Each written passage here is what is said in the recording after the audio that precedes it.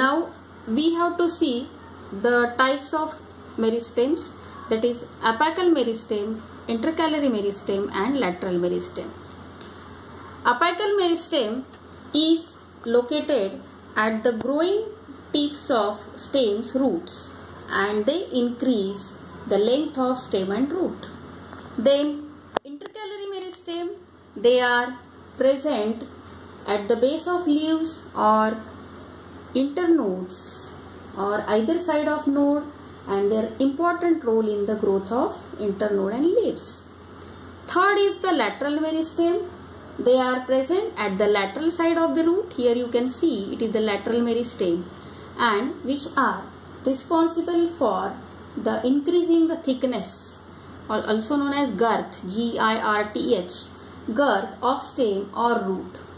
They are present in the vascular cambium and cork cambium. So vascular cambium is present in the stems as well as roots while cork cambium in the tissues of the